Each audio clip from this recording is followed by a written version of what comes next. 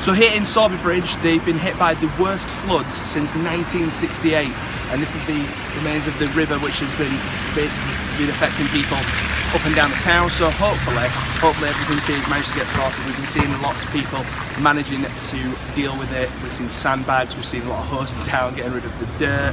Hopefully we're going to be able to see it. There's been a taxi rank that's actually just been dragged away in water. So hopefully, hopefully everything's going to be managed to get sorted. And I've been managed to speak to some of the local people who have been affected. It uh, just wiped everything out basically above the low waste level in the shop.